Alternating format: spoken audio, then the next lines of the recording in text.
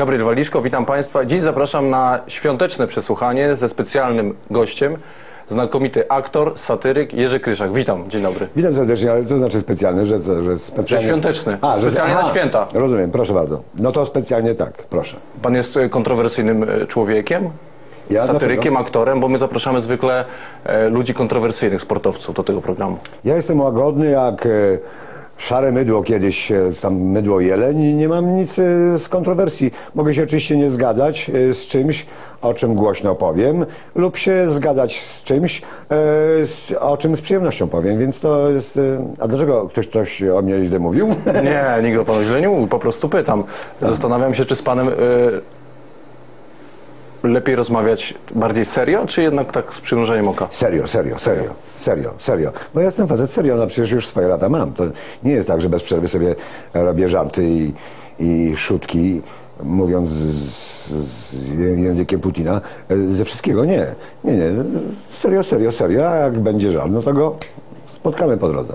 A sport jest jaki? Dla satyryka jest wesoły, czy jest E, To są dwa oblicza, tak? E, Sport to jest ten, gdzie są emocje i już nie ma żartów. E, Kiedy ostatnie metry e, pokonuje Justyna i za nią jest Biergen, no to już nie, żartów nie ma. Albo Biergen jest z przodu i Justyna jest za nią i tylko chodzi o ten wykrok, bo ona ma dłuższą nogę, więc ma szansę o te, e, o te 5 cm wygrać, to żartów nie ma, tak? Kiedy e, Tomasz Golob e, jedzie w ostatnim biegu to, i, i to o czymś decyduje, no to żartów nie ma. No to już e, e, sport to są przede wszystkim emocje. Ale czy pana tak? sportowcy śmieszą, bawią?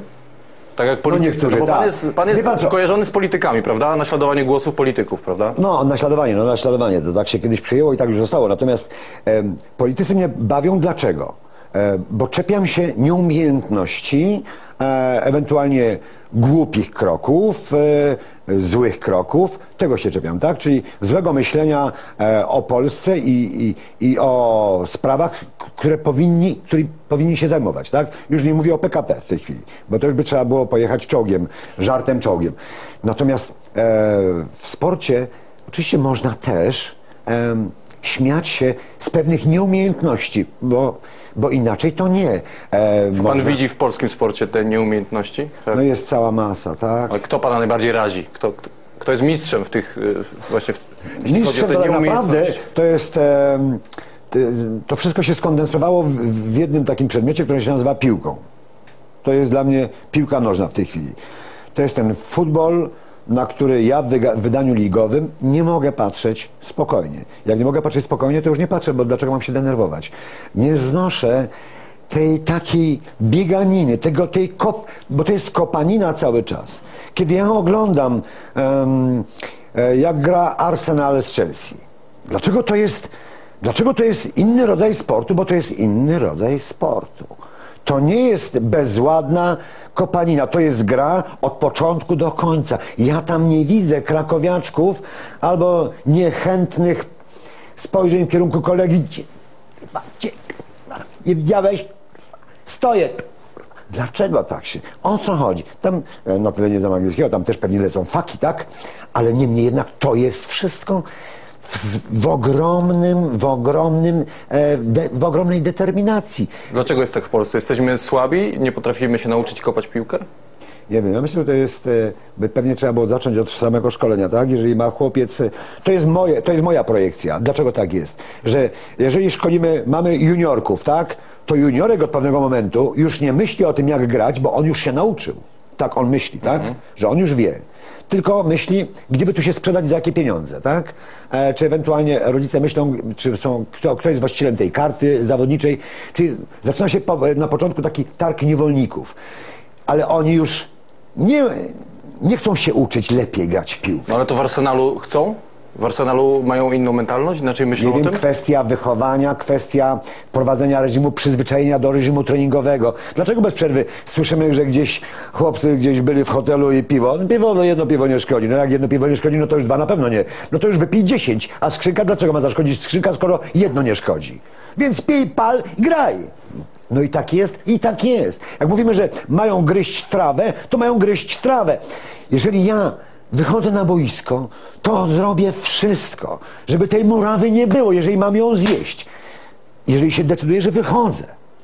A jeżeli się decyduje grać tak, no to na podwórku tam podaj synek, to nie wychodzę przed, tych, e, przed te trybuny pełne ludzi, które oczekują ode mnie walki, tak, zapału, determinacji. Ale to problemem polskiej piłki, polskich piłkarzy jest to, że oni nie są ambitni? Mają... Nie wiem, wychowanie jest wychowanie, e, wychowanie i człowieka, i sportowca, i zawodnika. To wszystko, wszystko jest pewnie w jednym, tak? A to myśli pan, że muszą minąć lata, żeby to się zmieniło? Czy coś się musi nagle wydarzyć? Czy euro, słynne euro, piękne stadiony, ble, ble, ble, ble, ble, może coś tutaj Piękne, zmienić? piękne stadiony, ble, ble, ble, ble, ble, nic nie dadzą. To mogą kiedyś w przyszłości dać e, te orliki, ale czy te orliki coś dadzą? Bo ja myślę, że to trzeba było, kiedyś w ogóle, ja mówię, dwa lata temu to ja tak prosiłem, gdzieś komuś mówiłem, zlikwidujmy tę ligę, jedną, drugą, trzecią. Chłopaki, jest e, cała masa pracy, jest, są jeszcze inne dziedziny sportu, może się, można się przekwalifikować, grajcie w tenisa, ping-ponga, to wszystko są też sporty związane z piłeczką, większą, mniejszą. I zacząć od tych dziesięciolatków, prowadzić ich, równo ich prowadzić do pewnego wieku. I potem zrobić z tego piłkę z, mądry, z mądrymi trenerami, z mądrymi działaczami. Są tacy też. Tylko oni przegrywają z tymi pieniędzmi, bo, bo ten juniorek już nie chce grać za takie pieniądze. Mówię, ja to trzniam. On chce iść, e, przejść do, do trzcianki, bo trzcianka mu więcej zapłaci. A on się w trzciance nie nauczy niczego, tylko będzie miał cały czas pretensje, że za mało zarabia. I krakowiaczek znowu, i kujawiak, do widzenia.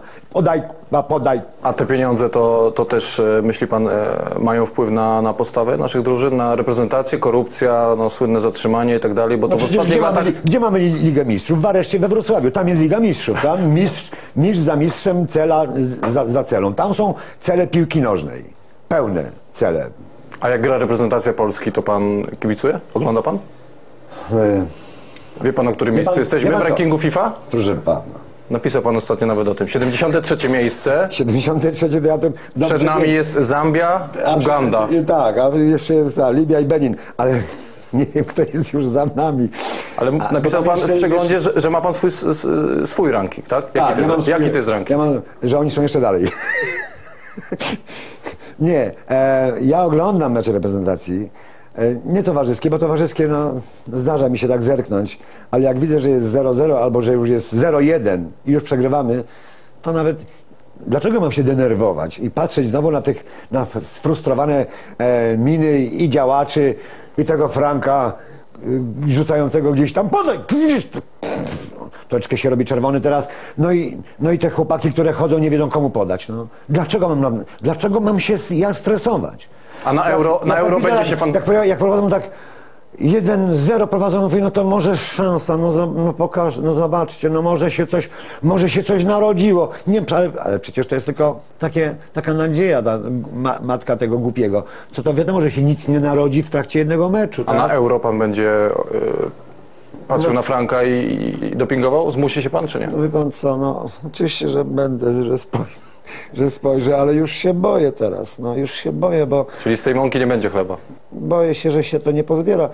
Em, to jest... Bo podobno Franek czyni cuda, tak? Smuda czyni Tak, cuda. Franciszek Smuda. Boję się, że będzie smuta. Nie Franciszek Smuda, tylko będzie Franciszek Smuta będzie pod koniec tych finałów. A pan jest kibicem jakiejś drużyny piłkarskiej? W Polsce? W Polsce? Nie.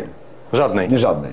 Nie, nie żadnej. Tak jak nie jestem na przykład kibicem żadnej, e, żadnego zespołu w lidze żużlowej. No nie właśnie, jestem. bo pan jest fanem żużla. Tak, ale e, jestem fanem żużla, tak, natomiast nie kibicuję żadnej drużynie żużlowej, bo uważam, że byłoby to z mojej strony nieuczciwością, ponieważ ja mam swoje sympatie e, wśród sportowców, tak, czyli ja kibicuję Tomkowi, kibicuję Jarkowi, Hampelowi, Runeholta lubię, bo jest uśmiechnięty. A co pana... To mi się podoba. Ale co pana e, rajcuje w tym żużlu?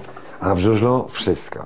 To jest, wie pan, piłka nożna to jest, czeka na tę bramkę, 45 minut, 0-0, kopią, bu, bu, bu, bu, kopią, bu, bu, 1-0, wielkie emocje. A tutaj co bieg, to jest bramka, tak? I to jest w zasadzie co okrążenie, co, co, co jeden, e, co, to jest, to już jest przestrzelone, to już jest nietrafione. No i to jest co, to jest, tam jest 24 bramek, jeżeli chodzi o, tam 22 ile biegów, 20 biegów, pewnie w lidze jest 15. W lidze tak? jest 15, w zawodach indywidualnych 20, albo 20, 20, tak. 20 ile, 3 w Grand Prix. Tak, 23. No więc tam jest 23, 23 bramki, są sytuacje strzeleckie, tak jak w piłce. Więc to jest za każdym razem potworne emocje. Dlaczego ludzie wstają nagle, jak, jak ci chłopcy tam jeszcze pociągnie to sprzęt giełki i jak to wszystko rusza, to wszyscy wstają od razu, jest wielkie łach i potem, i potem jest łach albo łach. Ale to jest sport, y, sport naprawdę fantastyczny, pełen emocji, pełen ogromnego ryzyka, pełen brawury. To jest wszystko, co tak naprawdę em, kibic sportowy, jeżeli ktoś ma jakąś e, w sobie tę sportową żyłkę, to on w tym żużlu zobaczy. Ja mówię tylko, trzeba być na stadionie raz, chociaż raz. Skąd u pana ta żyłka? Pan był pierwszy raz gdzie na stadionie? A nie, nie, Jezu, ja już to mówiłem dziesiątki razy, proszę pana, jak dziecko prowadziłem z wujkiem akumulatory, jakieś zwoje drutów, chodziłem na e, e, rawickiego kolejarza, tam gdzieś tory, pociąg się zatrzymywał, jak były biegi, to pociąg stał, bo jeszcze pasażerowie chcieli zobaczyć. Czyli kapała spychała takie Kapała, nazwiska Spychała, mocne. Kol, Kolberg, e, Pociejkowicz, Pałkard, ja ich pamiętam do dziś, Żyto, przecież to przyjeżdżało z Lyszna i były ta, takie jakby derby re- rewicko-leszczyńskie, tak? No, Mhm. no to było coś fantastycznego, no to były, to były takie wspaniałe jazdy, pamiętam te okul- ja ten sprzęt, pamiętam, że ja tam byłem blisko boksu, potem do tego boksu wpadałem, żeby okularki jakieś znaleźć, bo tam, e, żebyście widzieli te okularki. Inny świat Pan zobaczył te okularki teraz. wtedy, te gogelki złożone z tasiemki, jakiś plastik z tasiemką zrobiony i tak zakładali te chłopaki, przecież to było nieprawdopodobne. Te bandy z tych desek, ja zresztą byłem na paru treningach tam e, w Rawiczu i nagle jakiś junior, pamiętam jak wyłożył w te dechy, to te dechy poszły w drzazgi, ten motocykl, ten, ten jego kości, to wszystko, to było jakieś, i tam był prawdziwy żużel, naprawdę, tam, tam, był, tam był żużel wtedy jeszcze, nie jakaś mączka granitowa, czy e, inne pomysły, ubijane, moczone, sprawdzane, ha, ha, ha, ha, ha, chuchane. Tam była naprawdę jazda na maksa wtedy. Panie a największy... Że emocje jakby się nie zmieniły. A wypadki na żużlu? E, to dla niektórych jest to sól e, żużla, tak? Czyli to jest to, co smakuje. Nie lubię do końca tego. E, czasami oczywiście jest coś takiego. Nie życzę nikomu źle, ale jak na przykład ten Niki Pedersen jeszcze miał taki okres, że tak ostro jeździł, sobie pomyślałem, o Jezus, wejdź, wejdź mu w koło, wejdź. Ach, co się patyczkować z tym małym łobuzem, bo on był czasami rzeczywiście straszny. Był Niki wchodził bezczelnie. Ale chyba spokorniał, prawda? Pod... A Niki się zmienił, ale już też widać po wynikach, że się Zresztą zmienił. jak i Golob się zmienił, też spokorniał w sensie charakteru, Znaczy, prawda? Golob, ne. jest inny człowiek był- niż kiedyś. Golob nie był aż tak agresywny jak Niki. To, to, to, nie, był, to, nie, był, to nie był też Sajfudinow e, z ubiegłego roku, tak? Mały, który wszystko e, wyrżnie po drodze, co, je, co tylko stoi, to, e, to jedzie. Jednak Tomek był, to był, Tomek był artystą. Nie zawsze te ścieżki się zgadzały. E, tam bardziej się może chciało niż... E, niż się udawało, tak? Też pamiętam ten e, aferę z Boysem, chociaż też nie wiem, jak z tym boysem do końca było, ale Tomek to nigdy nie był e, Niki Pedersen. To, to, to nie była ta jazda, e, e, że nie patrzę i jadę. Chociaż raz pięknie opowiedział mi, Boże, to jest taki, jak on mi pięknie kiedyś opowiedział, jak e, to było w Bydgoszczy, bo którymś Grand Prix, e, jak był w finale i tu był Ricardson, Tomek był w żółtym, e, czyli pra, prawy zewnętrzny i tam no, ta, ta czwóreczka jechała miał. No nieważne, jedzie czwórka i na pierwszym łuku pff, składają się tak, Tomek leci w bandę, w te poduchy, następny leci, zbierają się i nie ma żadnego wykluczenia i widzę jak Tomek biegnie. I on mówi tak i ja po, poczułem, że nagle mnie tu rzucają. O glebę, no to mówię tak, tak dziadka traktujecie, poleciałem szybko, śrubokręt pociągnąłem sprzęgło, mówię no teraz. I, i jak mówię zamknąłem e, oczy, zobaczyłem tylko prawym, czy poszło w górę taśma, jak poszło, ten bieg mi w górę, ro, ro, ro, rogi, bo ja go za łeb i w dół, zamykam oczy, patrzę gdzie jestem, nie ma nikogo, dobrze jest. To była taka opowieść fantastyczna. Rzeczywiście wygrał to w stylu e, rewelacyjnym.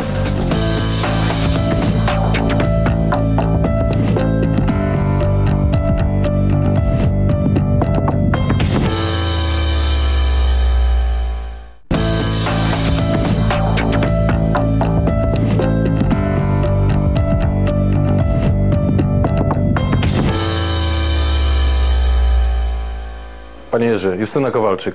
Ach, daj, no. Dotknęliśmy tematu, ale ja bym chciał tak bardziej na poważnie mimo wszystko. Pan napisał, Justin. pan napisał ostatnio, też lubię to imię. Yy, pan napisał ostatnio w felietonie w przeglądzie sportowym koleżanka przeciwniczka niedługo pojedzie na inhalację i po kłopocie. To było o Marit Bierger. Tak. Za chwilę. O Justynie, wzrok wbity w śnieg, jakby tam gdzieś pod tą białą kołderką dyszała astmatycznie Marit. Że się, że się Co czepiam, pan, tak? tak, że co się pan chce czepiam. powiedzieć? Wie pan, jeżeli połowa sportowców norweskich e, choruje na astmę, bo to jest, e, taki jakiś tam procent jest i to bardzo duży, znaczy to nie jest 20%, to nie jest 5%, to jest bardzo dużo chorych sportowców na astmę. To gdyby to było 2%, 5%, bo inaczej to górale polscy byli tylko, po prostu by tam apteki były pełne leków wziewnych, tak? Jeżeli zima i e, mroźne powietrze e, szkodzi astmatykom albo tę astmę wywołuje, no to całe podhale chodzi harcze, tak? Czyli co to, to nie jest, to nie jest bezpośrednie przełożenie. Czyli co to jest? To jest jeden z pewnie z elementów, ja nie mówię to, co czytam, ja nie wymyślam teorii, e, jeden z elementów pewnie tych wziewnych, to coś pewnie jest e, niedozwolone, ale dozwolone w tym, w tym że tak powiem, e, e, w tym, jako składnik w tym lekarstwie. Bo nie, może, nie wierzę, żeby wybitni, wysportowani ludzie byli chorzy na astmę w takim, w takim procencie. Czyli coś jest więcej w tym lekarstwie, które się zażywa, po to, żeby ewentualnie e, zażyć ten składnik i będąc w zgodzie z prawem. Ja myślę, że tu jest ta cała tajemnica. Teraz tak, e, Biergen y, y, nie jedzie na Tour de Ski, tak? Opuszcza cały ten fragment. Bardzo ważny, jeżeli chodzi o zdobycze, o zdobycze punktowe również, tak? Na przyszłość. Dlaczego to robi? Widocznie jest to y, tak przemyślany cykl szkoleniowy, że bierzemy, tu chorujemy na astmę, to ma te krinki czerwone mają pewną, pewnie zasobność, wytrzymałość, potem je albo trzeba wymieniać, albo je trzeba na nowo wysycać, albo je trzeba, że tak powiem, wyczyścić. Yy, Mówię, absolutnie chodzę w materii, na której się nie znam, ale tylko myślę, jak może być. Dlaczego ona ma taką, taką nagle robi przerwę? Panie Jerzy, ale, Co, leży, odpoczywa? ale polscy, polskie Tak. biegaczki, polscy Tak. biegacze są zdrowi? Myśli Nie pan, że- wiem. E, Justyna, też Kornelia ma, Marek? Justyna też ma za sobą e, jakiś, jakieś zarzuty sprzed lat, tak? Tak. E, Kornelia też nie umieją przykrywać, tak? A może Kornelia nie była chora na astmę, a powinna.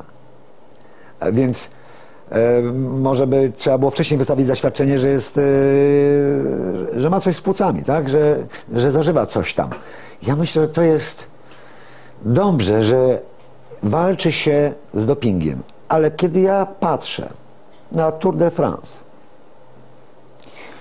nie wierzę, żeby cały ten peleton pod tę górkę o nachyleniu 12% chłopcy jadą naprawdę oczywiście jeden szybciej, drugi wolniej. Żeby to można było wytrenować tyle etapów non-stop i tylko moje własne działko, tak? E, No ale kiedyś, kiedyś, kiedyś można było? Ale jakie to były czasy? I, znaczy, jakie to były czasy i jakie czasy były były osiągane? osiągane. Trzeba by porównać taki etap, e, ten sam etap sprzed e, 30 lat, bo już 20 lat temu były różne sposoby na 100%, tak? Przed 40 laty. Porównać, oczywiście ktoś powie, że były inne rowery, tak? Lżejsze o, o 10 kilo, bo teraz ten waży kilogram 40, a tamten ważył 12,50. Wie, To wszystko można oczywiście, natomiast e, nie wierzę, żeby tam e, nie było wspomagania. Będzie to wspomaganie, ponieważ ludzie chcą osiągać coraz lepsze wyniki. A to jest największy a problem. To jest największy- naj- mięśnie nie są już w stanie tego wyrobić. To jest największy problem e, dzisiaj sportu? Czy, Ja myślę, czy mo, może, trzeba, może trzeba ten doping zalegalizować? Jakiś tam doping. To nie jest e, problem sportu, to jest problem ludzi ten sport uprawiających. Sport nie ma z tym problemu. Sport się cieszy. Ale ja nie mówię tylko o kolarstwie, ja mówię wiem, w ogóle. Ja wiem. Generalnie. O wszystkim. Tak. Każdy sportowiec wchodząc e,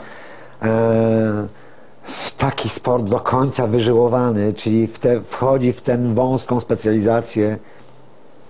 Nie wiem, czy te mięśnie wystawy są w stanie wytrzymać takie obciążenia. Nie wiem, nie wiem, nie wiem. Pytałem się kiedyś Władka Kozakiewicza, mówię tak, czy nie miałeś...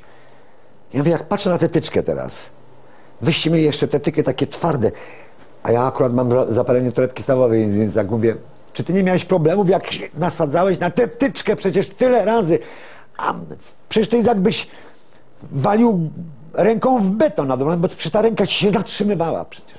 A on mówi, nie jak nie. Przecież tu mam wszystko wycięte.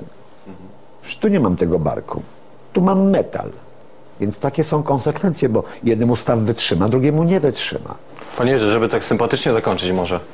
Kto jest y, pana bohaterem 2010 roku w sporcie?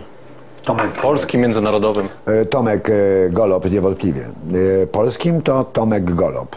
To, to tak, bo, bo nie to, że mu się należało, bo, bo nie lubię słowa należało, bo należało to można mu dać order, tak? On to wszystko tyle lat cierpliwie wypracował. Miał tyle zwątpień po drodze. Już, była, już gdzieś wspominał o tym, że się powoli będzie wycofywał. Jeszcze to. A Ja miał wreszcie- prywatnie mocne uderzenie pod koniec. też. ja już nie mówię o tych e, o, o kłopotach prywatnych, bo to są. E, każdy ma jakieś prywatne problemy. Ale to mu się też nałożyło i praca go jeszcze tam też na niego wskoczyła ko, kolorowa. Ale i wreszcie mu się tak ułożyło, że temu facetowi zdarzyło się tak, że mógł się cieszyć i płakać jak dziecko, oblewając się szampanem. A czy Jerzy Kryszak uprawia jakiś sport? Albo będzie uprawiał, może sobie postanawia w przyszłym wszystkie roku? Razem. Jak, jak na przykład oglądam teraz, e, nie lubię jednak toma- to- towarzyskich e, takich spotkań, jakie było na przykład Nadal Federer, tak? Chłopcy sobie zagrali w Szwajcarii tam, a, i potem pojechali do Madrytu. Em, bo jednak to powinno być e, walka o coś. Nie tylko taki, tam, te parę groszy, co tam spłynie na fundację i tak, taki robimy bajer. Tam nie, tam nie widzę do końca zaciętości. Ja chcę zobaczyć, jak ktoś się decyduje uprawiać sport, to ja chcę zobaczyć, że on idzie, że tam ma ten cel i nie liczy się nic. Nie mówię o tym, że po drodze były trupy, ale ale na przykład tak, ta Justyna, tak, biega. I są dziewczyny też, trzy. Ona jest, Justyna jest, e, powiedzmy, druga ostatnimi czasy, e, ostatnimi tygodniami, a dziewczyny są tak, 18 i potem jest 40 i, 27, tak. i tak. Justyna pracuje ileś tam, Wierek Jelny mówi, jak, jak Justyna pracuje, to naprawdę aż miło popatrzeć. I to dlaczego inni nie mogą? Czy to nie możemy się podzielić tym programem treningowym? To samo ten Adam Małysz. Skromny, świetny, wspaniały. To jest, a Małysz to w ogóle, jak patrzę na Adama, to mi się wydaje, że to jest ktoś z mojej rodziny w ogóle. I którego jeszcze, no, nawiasem, bardzo lubię, bo bo facet też się nie poddał, też próbuje. Już był przecież w dużym dole, już prawie, że nie, bóli nie widział, tak? I znowu zaczyna skakać Od 10 lat rewelacji. Gdzie gdzie jest Schlierencauer? Był, wystrzelił, fk, poszło. I już nie mówię, że skręcił na nogę, ale, ale też był 15, czyli zaczął indywidualne treningi, czyli coś, ta noga też była konsekwencją tego, że szukał, szukał, szukał czegoś na treningach, tak? Nie startował, tylko coś się stało. Co się dzieje? To jest też, to jest dla mnie tajemnica u, u tych skoczków latających, to jest tajemnica, że raz się skacze, raz się nie skacze. Że nagle ktoś ma e, absolutnie wiatr pod narty, a komuś nagle nie. Jak Janda kiedyś przecież to leciał jak szybowiec, przecież to był latawiec. Miał sezon, że to był latawiec, tak? I nagle teraz latawiec, ale wiatru nie ma. Więc co to jest? A Honen, przecież to były postacie nieprawdopodobne. I nagle znowu ich nie ma. A ten Adam cały czas. Jest. I, i, pro, i proszę, trwa. i, i trwa. Panie Jerzy, tak kończąc powoli, czy moglibyśmy się pożegnać yy, Pożegnajmy się. z gło- głosem jakiegoś e, sportowca? Oj, Trenera, tak, kogoś- Nie, nie, nawet, nawet nie próbuję, nawet nie próbuję, nawet nie próbuję podchodzić. Nie tylko się. Jako zawsze czekam. Zresztą to e, Ja wiem, że to jest ograne, no ale wczoraj właśnie też. e, Nie mógłbym sobie darować, Króciutki felieton napisałem do, do przeglądu, że e, życzę sobie, żeby w przyszłym roku usłyszeć Tomka Goloba po jednym z pierwszych Grand Prix, jak, jak, jak, jak Tomek. stojący przed mikrofonem, roześmiany, że jeszcze lekko opaprany z tą swoją butelką pokazuje wszystkim i, i mówi, że it, it, was ve, ve, ve, very good race for me, ve- very good meeting. Pozdrawiam Polaków! Prawie jak papież. To bym chciał usłyszeć, więc e, jeżeli chodzi o głosy sportowców, to tylko lubię takie to cuknięcia, to, to omka, bo są re, rewelacyjne. to w takim razie czekamy na to, panie Jerzy, w przyszłym roku. Pozdrawiam Polaków. I dziękuję bardzo za to przemiłe spotkanie i za e, rozmowę. Jerzy Kryszak, znakomity aktor, satyryk, był naszym Dziękuję gościem. serdecznie. Kto płaci za kawę, bo ja nie wiem?